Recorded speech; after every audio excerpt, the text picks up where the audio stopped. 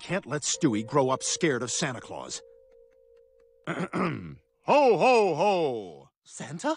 Is that really you? Sure is. Well, how'd you get in? Through the window. It was just unlocked? Like anybody can just come through my window at any time? I really don't like Forget about that. I know you're having a tough time, and I just wanted to tell you that everything is fine. Meg is entering probably the most horny part of her life. This could just as easily have happened while she was riding a horse or something. I'm just sorry you had to see it. Okay? Don't want people just coming in whenever.